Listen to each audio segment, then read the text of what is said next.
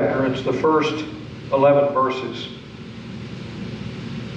Now, concerning spiritual gifts, brothers and sisters, I do not want you to be uninformed. You know that when you were pagans, you were enticed and led astray to idols that you that could not speak. Therefore, I want you to understand that no one speaking by the Spirit of God ever says, Let Jesus be cursed, and no one can say Jesus is Lord except by the Holy Spirit. Now, there are various gifts, but the same Spirit.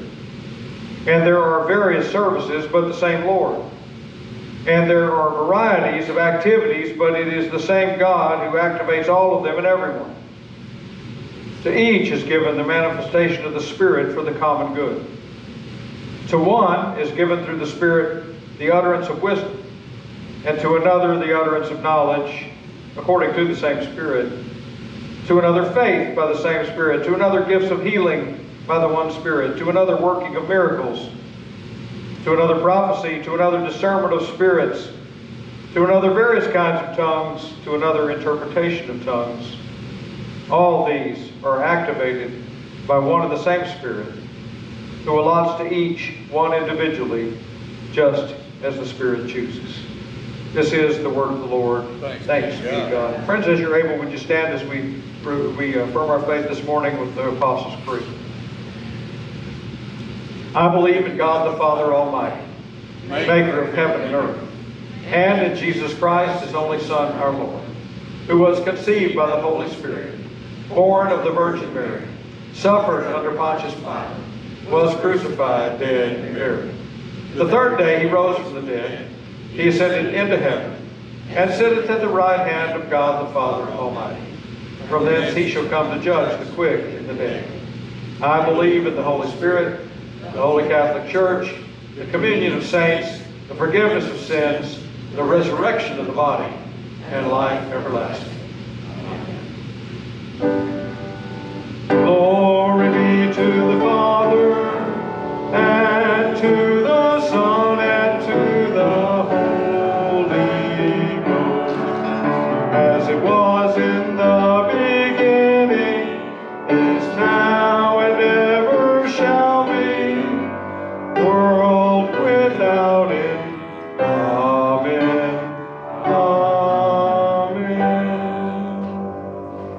seated.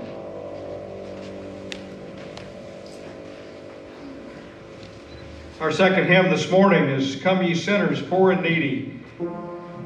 We get opened up to it.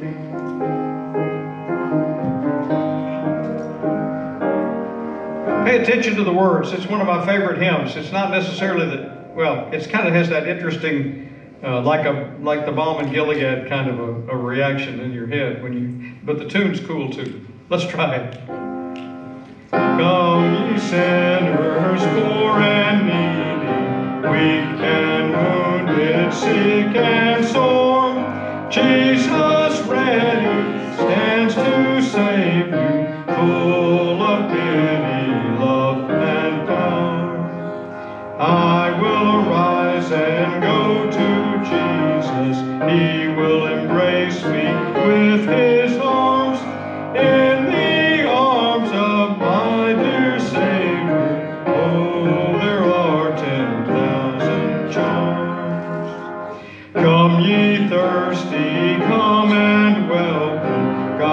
Free bounty. Glorify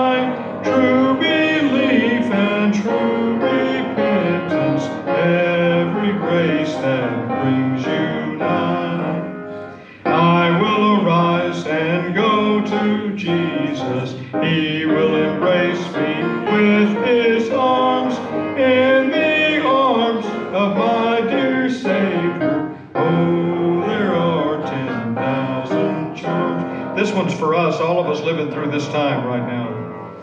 Come ye weary,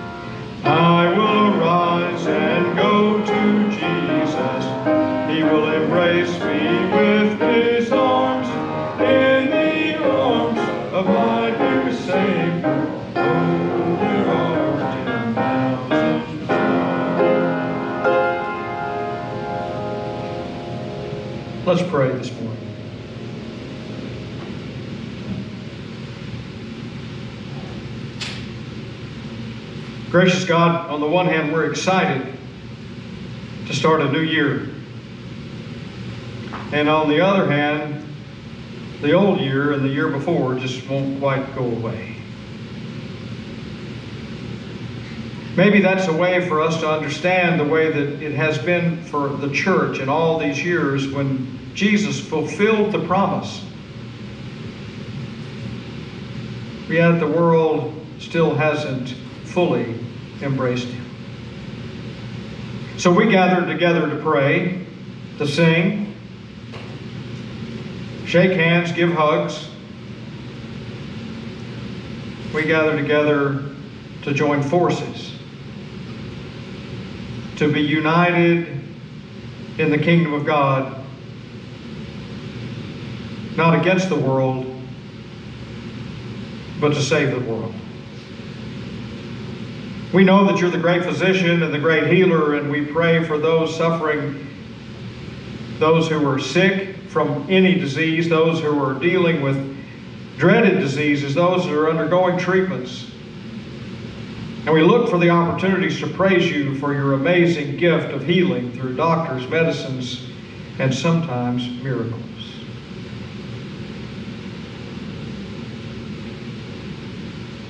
Because we live, we also have to deal with the end of life. And there have been so many that we know, so many of our relatives, so many of our friends that have moved from worrying to grieving. So, God, we need your strength. We need the Holy Spirit to come and fill us with your Spirit. We need to believe that you are the miraculous God, worker of miracles that you are. And even though sometimes we pray to be rescued and we're not, you will never abandon us. So, God, we pray for patience, for grace and mercy, and for the realization that you were with us always in the good times and when we struggle. In so many ways, our lives mirror the life that Jesus shared on this planet. From the excitement about the birth of a baby to the fear of a person capable of changing the world to eventual persecution and death. And then he rose from the dead. It's that Jesus that prays for us now, prayed with us then, and taught us to pray when he said, Our Father, who art in heaven, hallowed be thy name. Thy kingdom come. Thy will be done on earth as it is in heaven. Give us this day our daily bread, and forgive us our trespasses, as we forgive those who trespass against us. And lead us not into temptation, but deliver us from evil. For thine is the kingdom, and the power, and the glory forever. Amen. So our next hymn is, uh, Lord, you have come to the lake shore. It has four verses. They'll all four be on the screen. And so we'll, Ann will play and we'll sing. If you happen to speak Spanish and want to sing it in Spanish, that'd be fine too. Lord, you have come to the lake shore, looking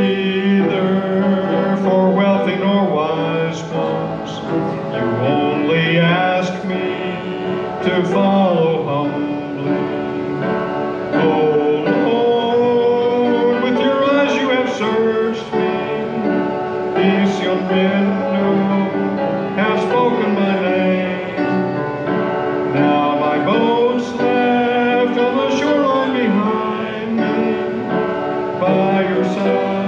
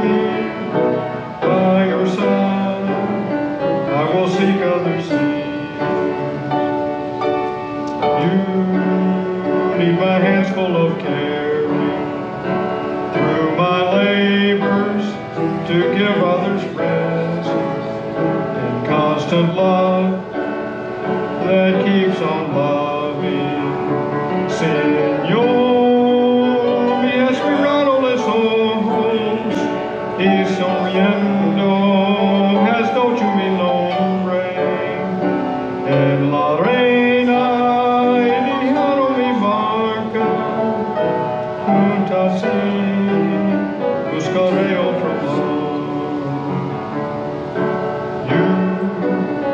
who have fished other oceans, never long for by souls who are waiting, my loving friend, as thus you call me. Oh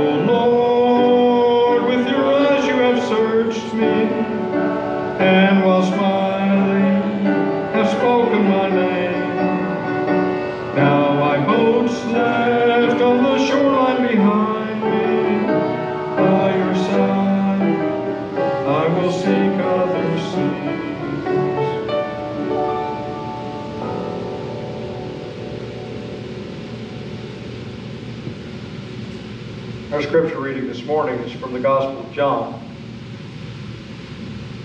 As you're able, would you stand for the reading of the Gospel?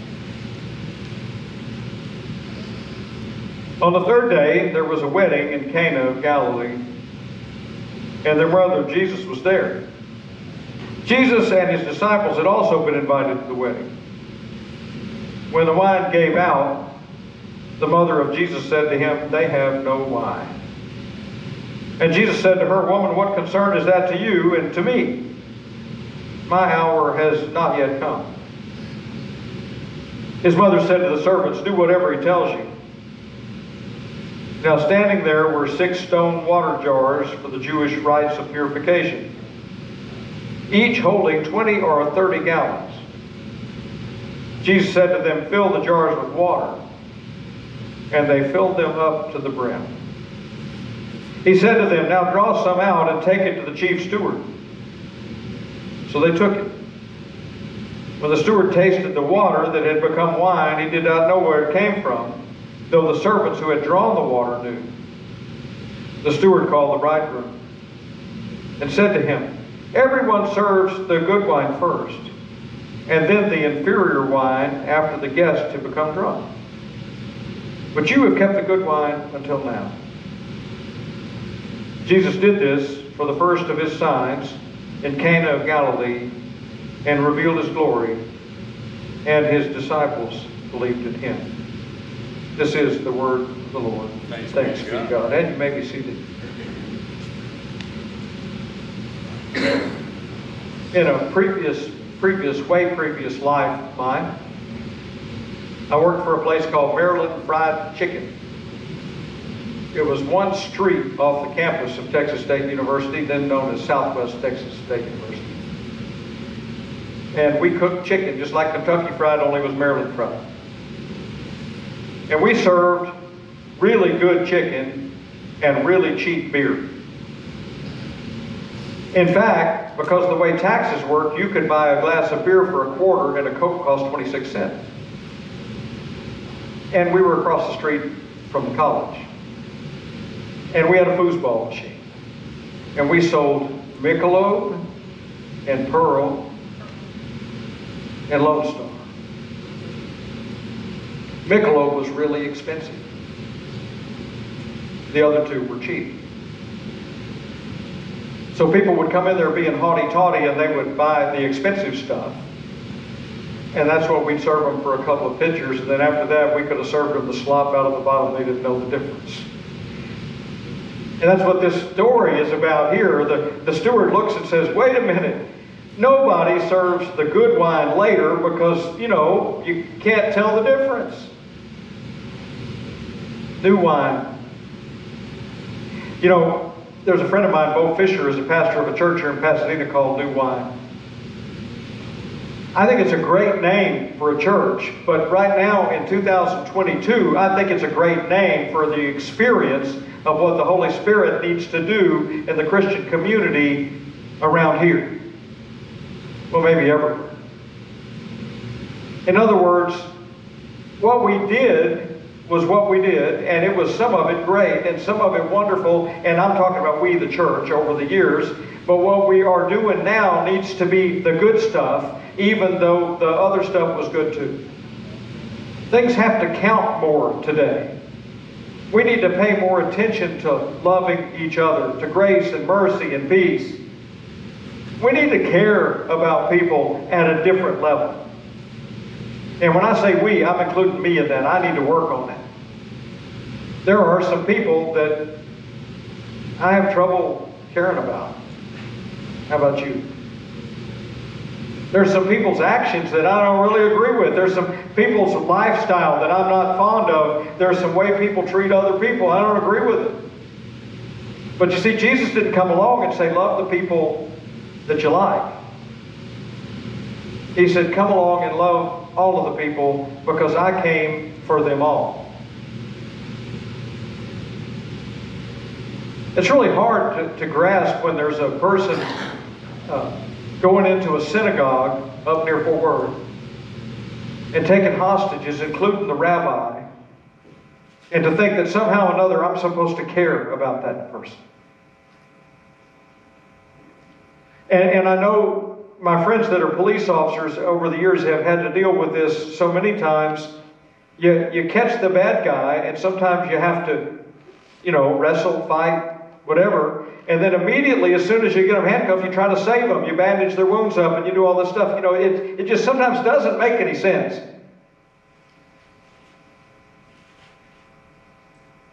But I really believe Jesus is talking to us directly today. I know what this passage is about. This is the revealing of Jesus' miraculous abilities to the disciples so that they can follow him. And at least for about five minutes, they believed in him. But I believe this text is not just a text given to us for then. I think it connects to that spiritual gifts text I read from 1 Corinthians, where we have a responsibility to be manifestations of the Spirit to the world in which we live.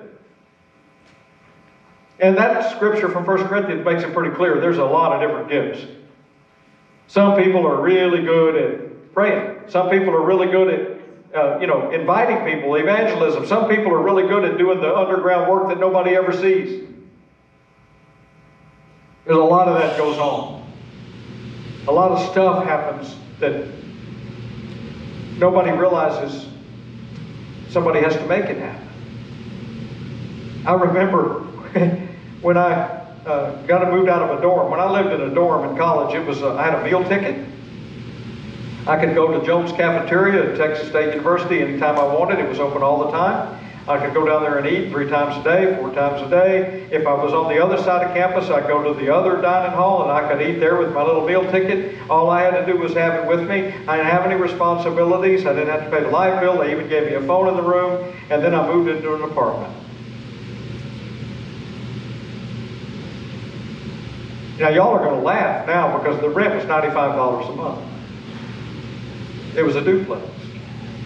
The gas bill was about $21. The electric bill was probably 13 or $14. The phone bill was probably more than all the rest, but you had to have a phone. They didn't have cell phones then. And then I, I got paid. Uh, I was making a whopping dollar and 35 cents an hour, so I had to add all that up to be able to have enough to pay the bills when they came.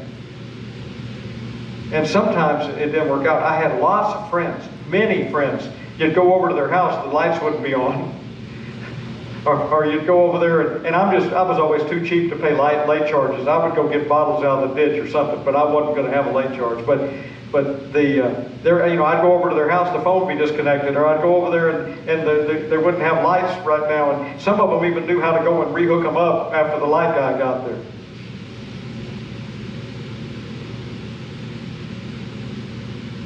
Yeah, so I don't think it's a gift from God to be able to manage money, but I think it's a gift. What this says, some people have wisdom, some people have the utterance of wisdom, and some people have the ability to explain.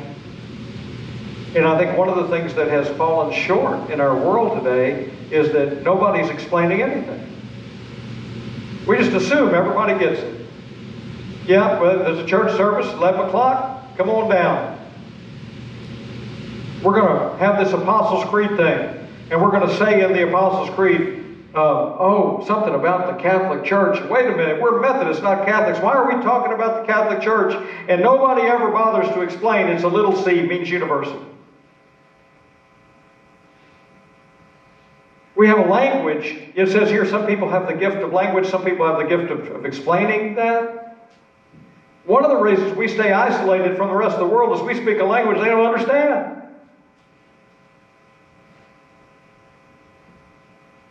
They don't have a clue what a foyer or a vestibule or a porte or a chancel or an acolyte is.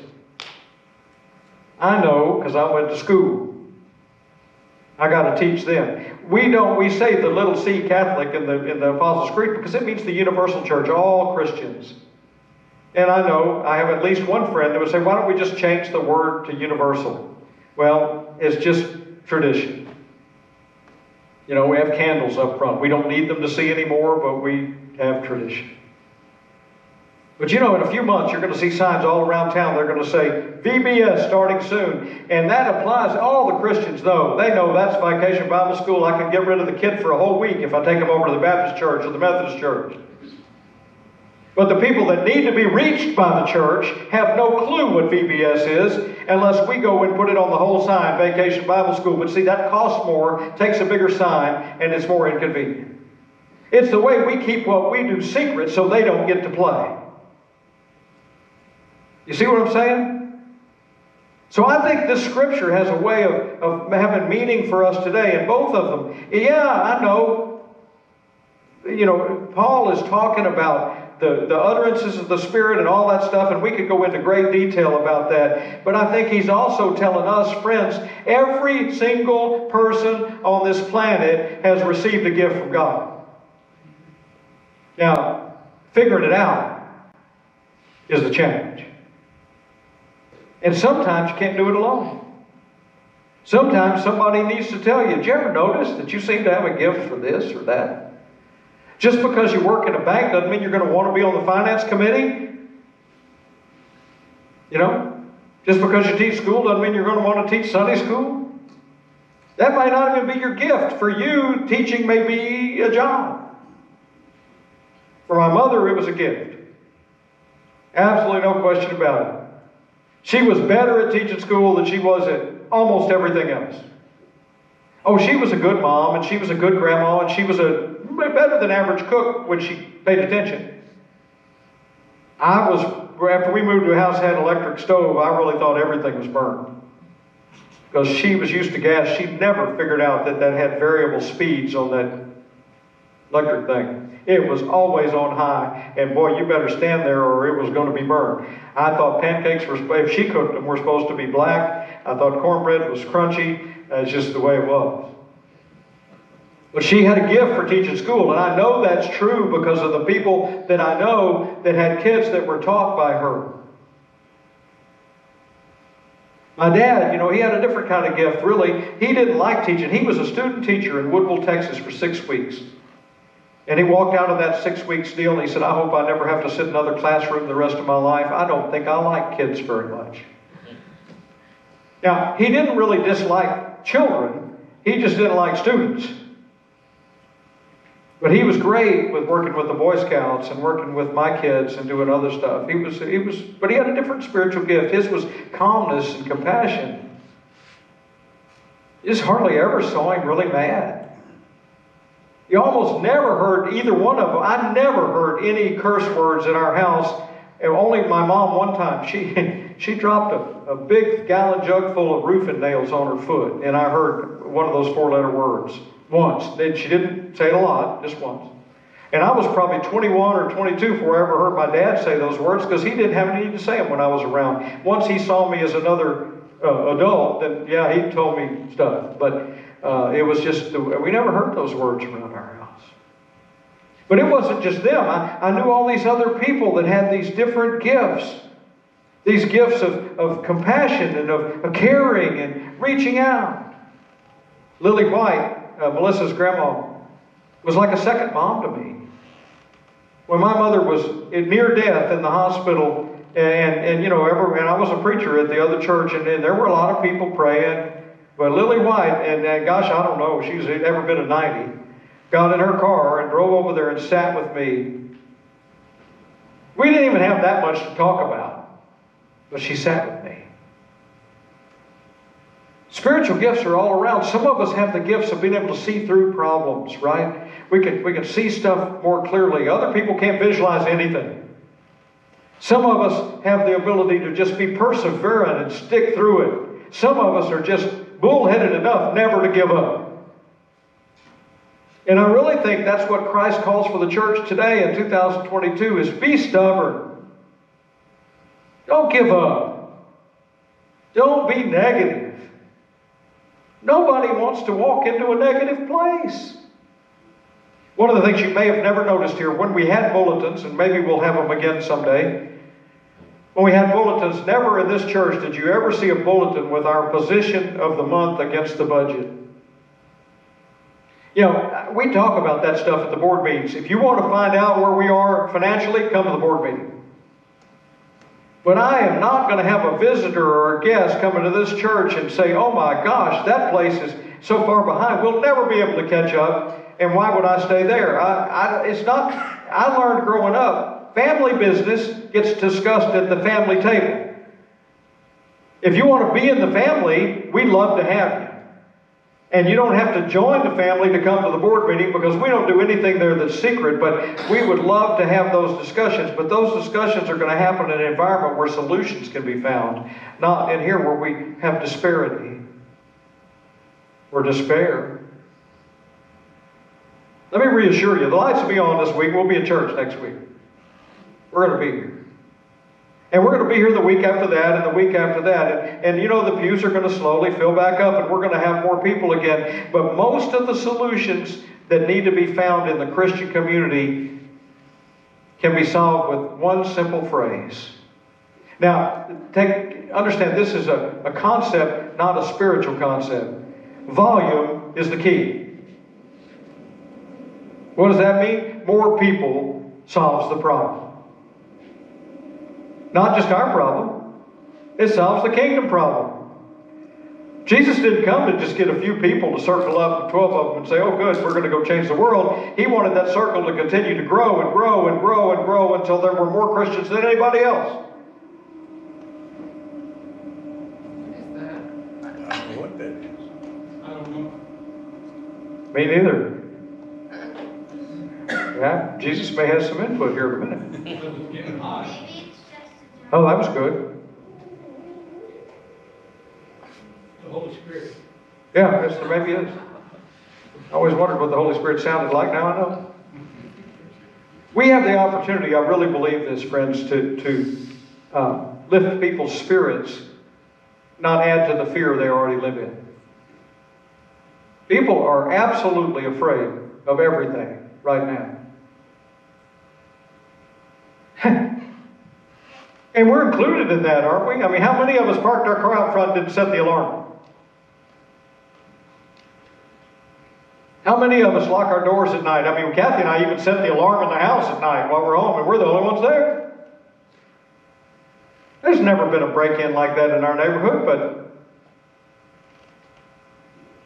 we find ways to put it off on other people to solve all of our problems. We'll let the police protect us, but we won't talk about that guy that's suspicious in our neighborhood. We don't get involved in the politics because we don't want to share with somebody that have them dislike us anymore. You know, hey, get over that. You're not going to agree with me. I'm not going to agree with you about everything, but we can still be friends and do ministry together. We're letting the world dictate what it takes to get along. We're letting the, the world outside of here tell us what it's like to be Christians because they have the wrong idea. We're not people of fear, we're people of assured future. We know that we're going to be with God and we'll be there either today or forever, whenever it is. We don't have to worry about it. We've got that assurance. Amen? We've been given that promise. We want others to have that promise. We don't want somebody to be left out, even if we don't like them. Because you see, when you get to heaven, you're not going to care. That's the big part. The one, the person you despise down the street or that runs down your road at three in the morning with the loud music going, and, you know, when they get to heaven, that's not going to happen. So let's just pray them into heaven. Let's pray them into understanding that somebody cares. We've had a person visiting here for some time. They came up to me and said, I never went to church before. I don't know anything about church. You got to teach me. Isn't that where we all are, really? We need to be taught. Turn off number seven, see if that fixes it.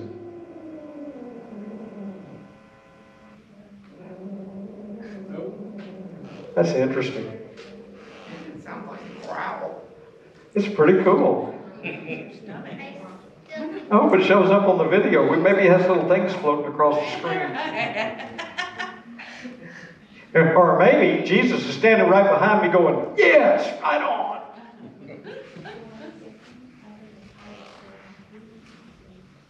Jesus went and performed that miracle. I always get a kick out of that transaction Woman, what do you want me to do about it? It's not my problem. But then he does what mom asked him to do. Our Roman Catholic friends base a whole lot of their love for the Mother Mary on that scripture.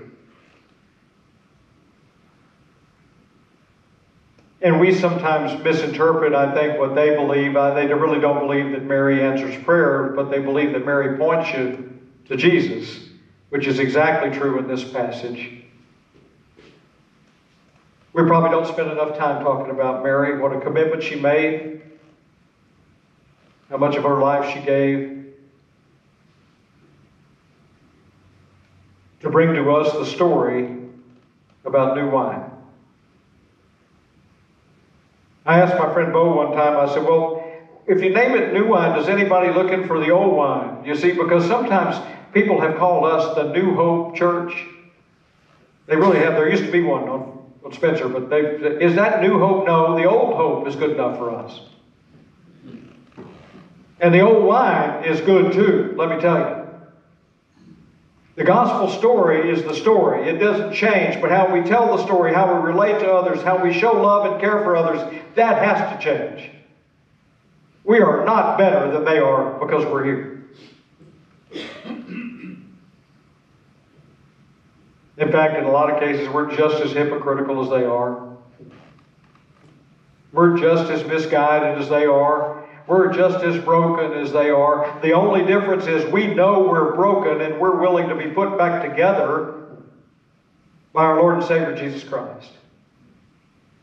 We're not in competition with the neighbor churches. We are not in competition with them. But we are in competition with our old self. And each one of us should pray today that we're better than we were yesterday. And with God's help, we'll be better than we are today, tomorrow. That's all these scriptures are about.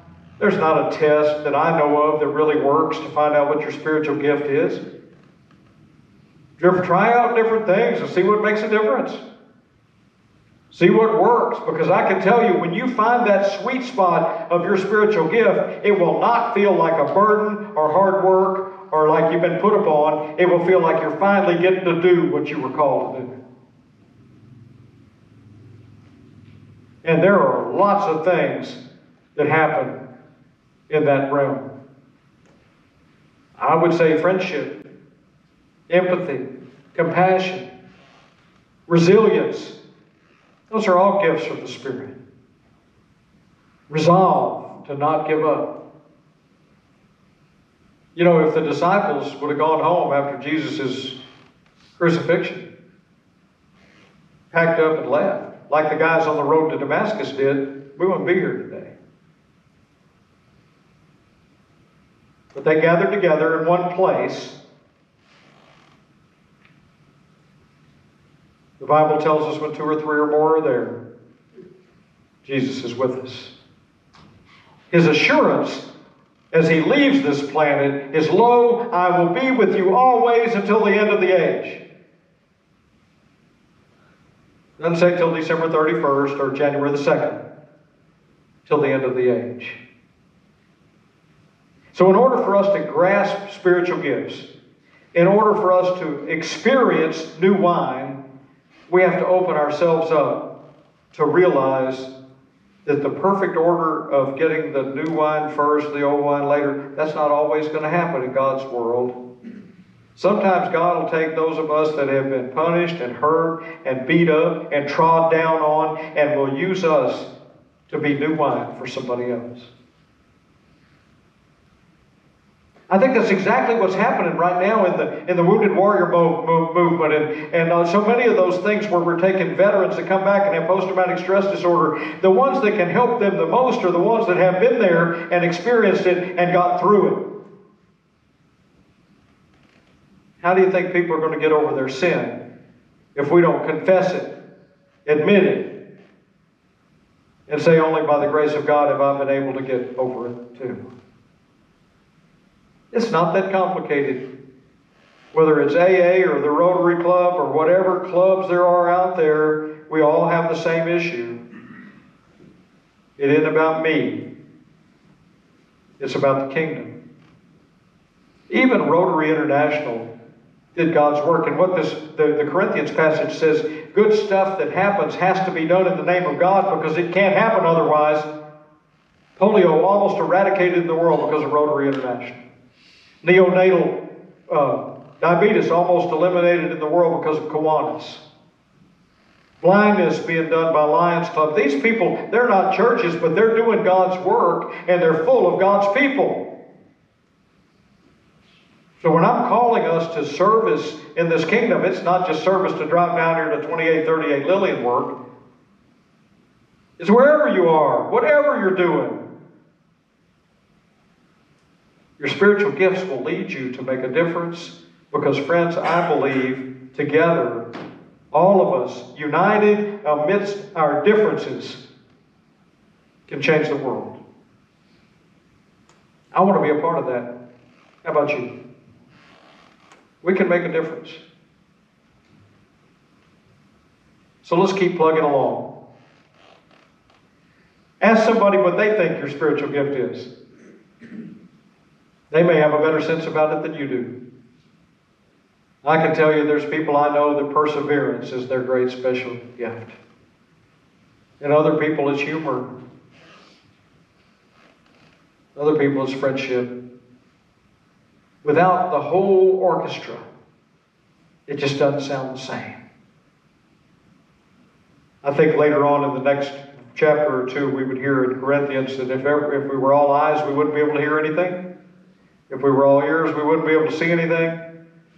The diversity of the body is what makes it the most powerful, life changing, earth changing, world changing entity on this planet. The diversity of the Christian body. And you've been adopted into it. So now that you're in, what's your part in the story? In the name of the Father, and of the Son, and of the Holy Spirit. So we're not passing an offering plate yet, but we'll, we'll, probably do that soon. We have a basket in the back. We'd gladly accept your gifts and offerings there. As we close our service today, we are going to uh, sing "Blessed Be the Tie That Binds," and uh, I just want to say I, am looking around at who's here. You know, we've had a lot of people visit over the last few months. Today's not one of those days, but we've got a few people here. But but uh, if you if you're some of these people are visiting and, and and they inquire, let them know there's more to do here than just come to church. Uh, we have Bible study for men, Bible study for women. We can have if there's a if there's a demand, we can have evening Bible study. We can do a lot of other things besides that. I'm convinced that people really don't get to know each other in worship very well, and so we've got to find ways to engage people outside of worship. And together, we can make a huge difference not only in their lives, but in ours as we widen the horizons of who we visit, hang out with, and do stuff with. Friends, as you're able, would you stand? Let's sing this closing hymn. Blessed be the tie that binds our hearts in Christian love, the fellowship of care.